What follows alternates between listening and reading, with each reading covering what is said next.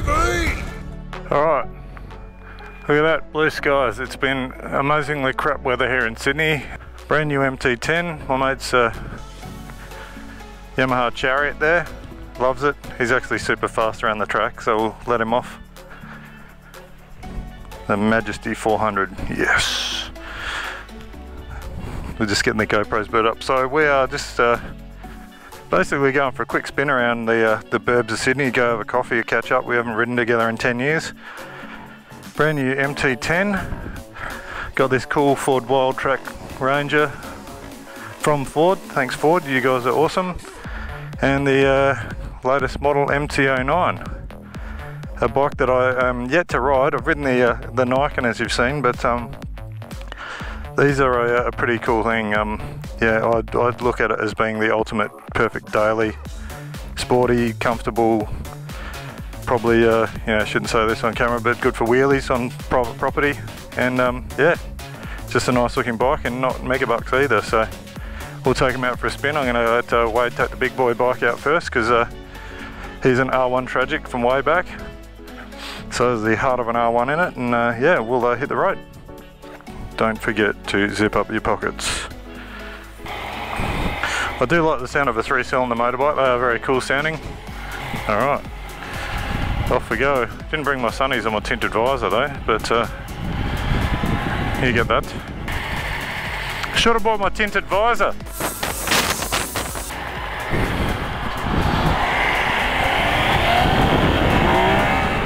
We are in Wetherill Park in Sydney, home of Yamaha headquarters and um, about a billion and other one businesses around here. And uh, even more trucks, trucks everywhere. So you've got to be very careful around here, especially on a motorbike because they don't look or indicate. You want one yet? Yeah, they're a wicked looking bike. It's an interesting feeling riding this. The seat's super, super comfortable. But um, the one thing you notice is um, the seat on it's almost like a motocross seat. You're not exactly sure where to sit, but um, that's not a bad thing because it kind of gives you the variety of being able to move around a bit. But um, such a nice little engine in this thing. I do like it. So smooth. This is humming along at 80 k's an hour, three grand. Alright, so this is the main reason we've got these two bikes out today, other than the fact that the weather's been total arse in Sydney and um, and you know terrible for riding bikes. I mean, yeah, I don't mind riding in the rain, but you know as you get older, you just get lazier and like, oh, I don't want to get wet, sit around in wet clothes all day. But um, yeah, so Sydney traffic can be quite soul destroying because the fact that you are stuck in bumper to bumper. It's moving alright at the moment. We are on the M7, the new loop road, or new, I say that, new 10, 15 years ago or whatever, that connects the M2 to the M5. Uh, awesome bit of gear this road, um, apart from all the tolls. But uh, yeah, so we're currently sitting on 66 k's an hour, stuck behind a truck in a 100 zone.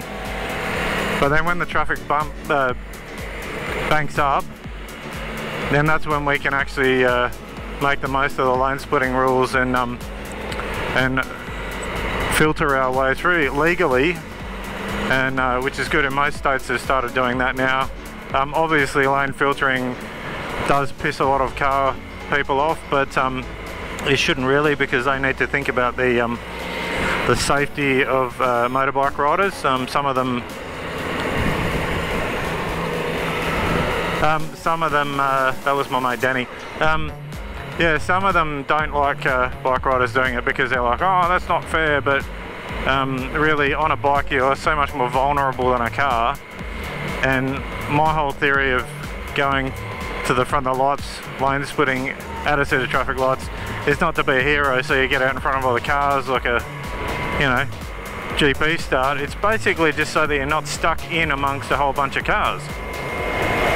Nobody wants to be in and around 10 cars where there's people vaguely driving, some using their phone, some not really caring, some not even taking any notice of any motorbikes around you.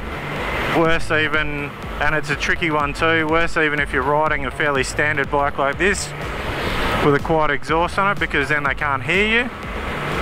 But um, yeah, no, I mean this bike here and um, we'll swap over with Wade soon and jump on the MT10. I think he'll really enjoy this as well. It is quite blustery today as you can tell, got the GoPro on the top of the helmet so the thing is a mini sail. Um, quite keen to see how this footage comes out now as well. We've done a bit of stuff with the Hero 7s, but this is the first one I got my hands on, so and a little red light still on, so we are recording. But um, yeah, I think um, uh, you know, from what I've been told, I haven't looked at the sales figures and stuff like that, and to be brutally honest, I've said it a thousand times, I'm not that kind of journo, I don't get into the nitty gritty of sales figures and specifications and everything. It's all more about my personal opinion about riding bikes Speaking of which, there's a, uh, a policeman on a Yamaha. Um, yeah, it's more about my personal opinion. You know, I've ridden a few bikes. I'm not the best rider in the world. I'm certainly not the worst. So, um, on the other hand, uh, Wade and I, our background together as mates is um, we both uh, got into a bit of stunt riding a while ago. He was um, he was racing and doing track days and stuff like that. So, a way more um, talented rider than I am. And now he's um, doing training with the uh, very cool Bernie Hatton, the top rider training, and um, yeah, Wade's um, Wade's a gun on a bike. Like he can go out and take a crappy old CBR 600 and go and mix it up with guys on new 600s and stuff like that. He's just very talented, good rider, very modest. But uh, yeah, total total Yamaha nerd. He doesn't like to admit it, but um, yeah.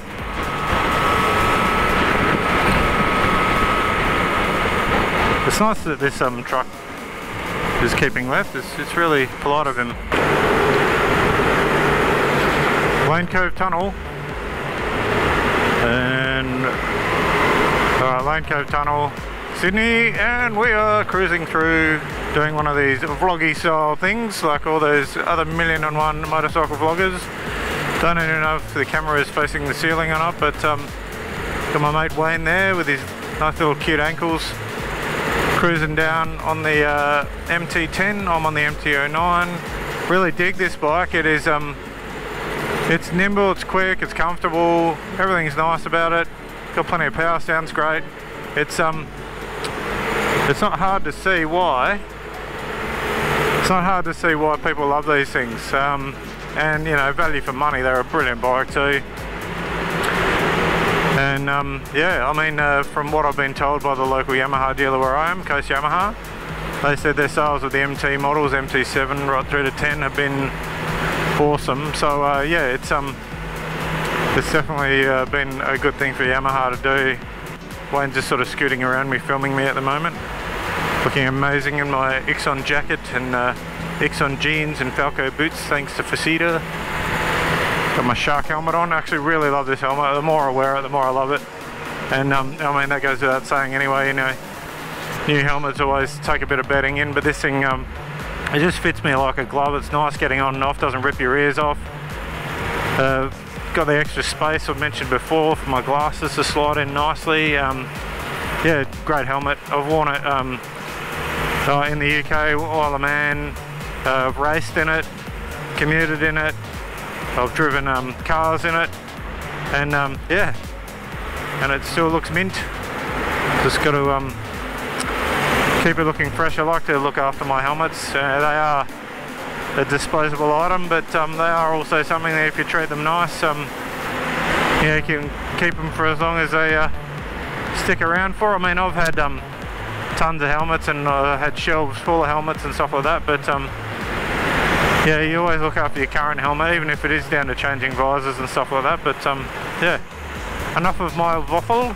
I'm to stop this camera and start it up again in a minute and you'll see why.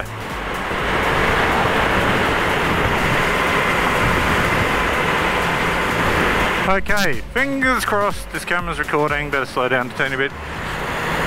Alright. Yeah, fingers crossed this camera's recording. Now we are going on to what I like to think is the most iconic piece of Sydney. The uh, very bumpy old school Sydney Harbour Bridge. Look at that. Absolutely awesome.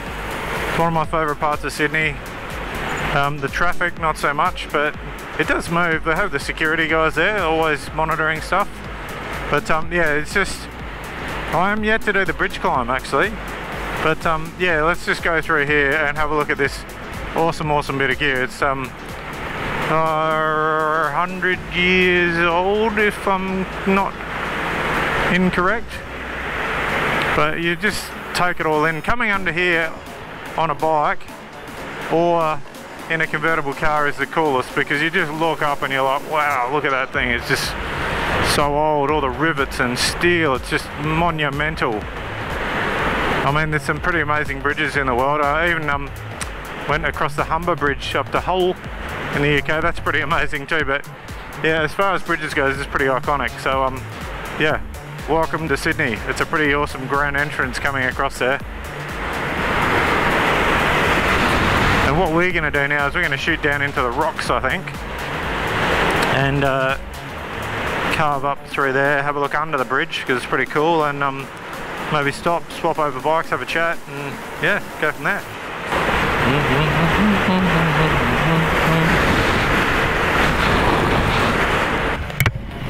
Rocks!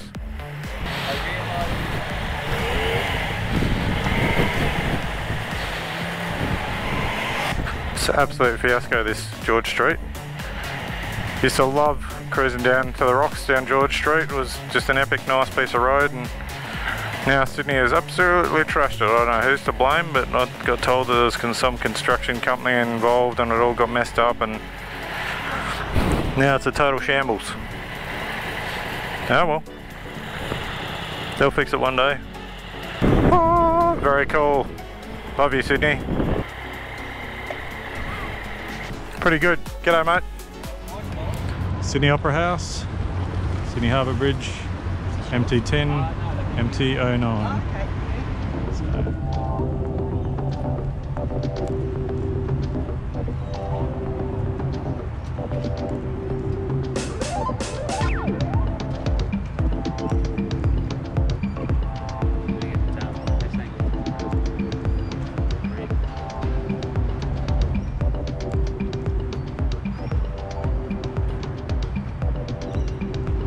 Alright, in double chin mode.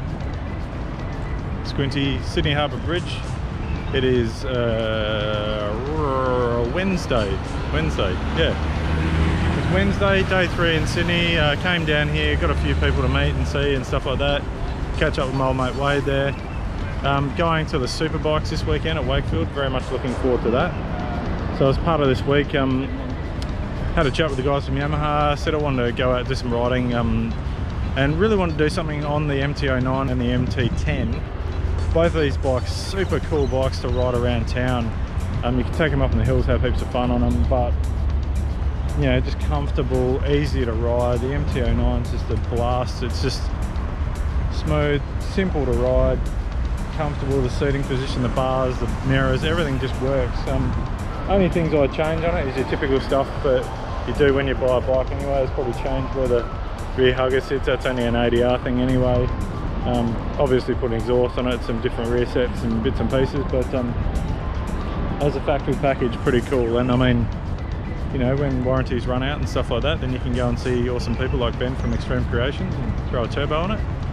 But um, yeah, as a standard package, pretty awesome bike. Um, I am about to have a ride on the MT10 in a minute, so this, here, so the watered down R1 engine. And um, yeah, I'm just going to quickly go over and see Wade see what he thinks of it so far. What do you think of the MT10? What's it ride like? Comfort, all that sort of thing, power? Comfortable, torquey, pretty sure-footed. Um, soaks up the bumps, uh, you still feel connected with the road, holds its line. Just a pleasure to ride in all respect. It brakes fantastically. It's got really, really good braking power. And the KYB forks are, um, there's something else. It's, it's not something that you would have to buy from the showroom and then take down to a suspension guy and spend thousands of dollars on. It's quite confident and confident, confident and, and just comfortable. And as a rider, I mean, you're not just some everyday schmuck rider.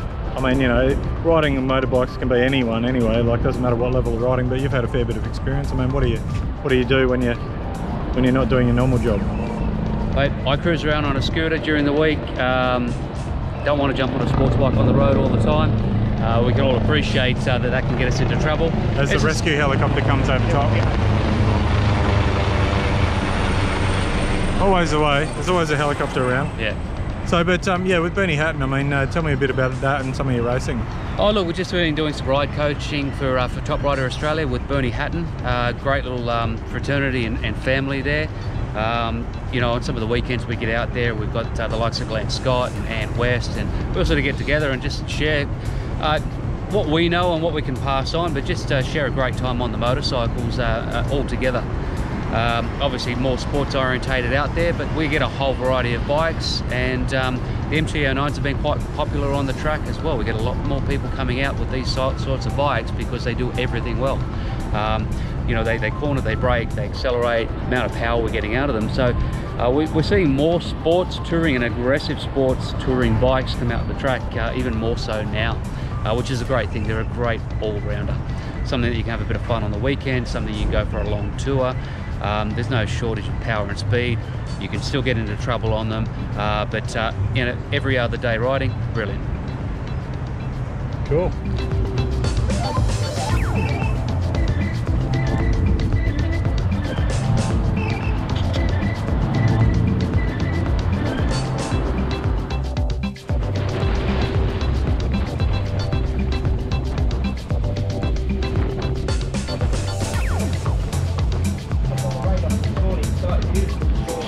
All right sydney Harbour Bridge, we're in the rocks and we just happen to come across a DeLorean. Look at that.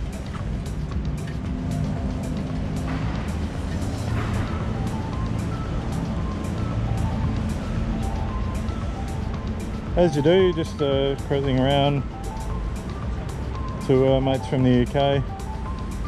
One that lives here, one's visiting. Thought they'd go out for a spin, see if they could hit 88 miles an hour across a bridge. So can I do a quick uh, interview with you? Yeah, sure. Two seconds. Uh, who are you, where are you from, and what the hell did you uh, buy a DeLorean for? So my name's Tim, I'm from Sydney, originally from the UK. Um, why not? That was it really, to be quite honest. I always promised myself when I got to a certain point, I'd buy myself a DeLorean and bought myself a DeLorean. And it's pretty epic. It's, I mean, slow, but it's a good, great car. And people keep stopping like you to say, hey, I've never seen a DeLorean, so why so, not? Well, I've seen a few. Uh, I've been around the car scene for a long time, magazines and stuff like that. But um, give me, I'm going to do this on camera. Give me your top three quotes from the first movie. Um, roads. Where we're going, we don't need roads. Um, I'm not. I'm not a huge Back to the Future oh, on, fan. I'm more of a fan of the car and John how DeLorean. Many, how many? How many gigawatts? Uh, 1.22. 1.21. 1.21. Yeah and uh, yeah, I can't think of any more. Marty, great Scott. awesome car, man. That's no so problem, cool. Thanks.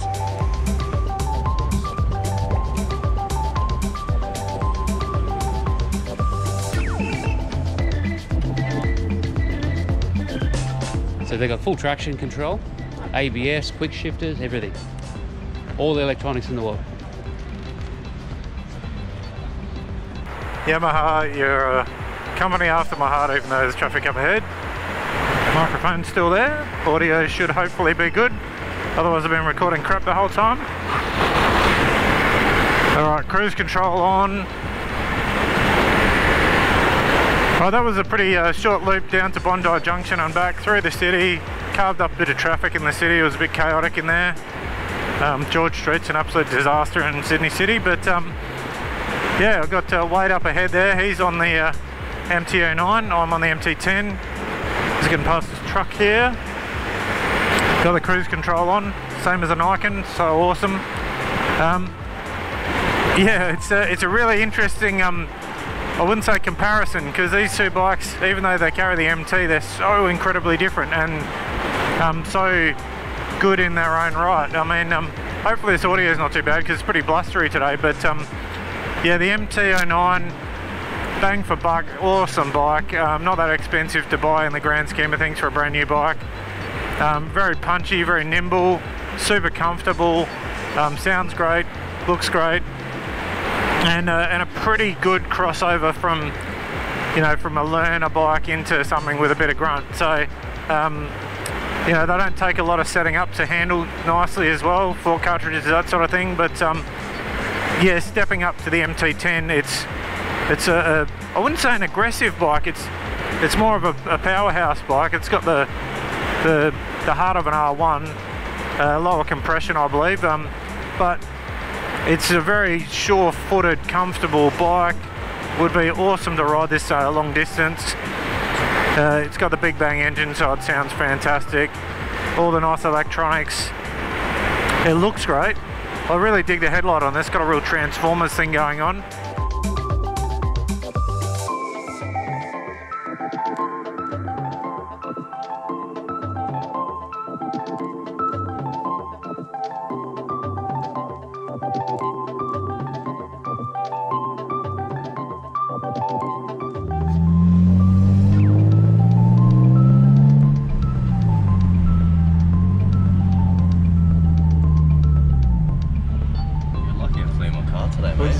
About 500 kilowatts? In the wet, on bald tyres, it feels like 500 kilowatts.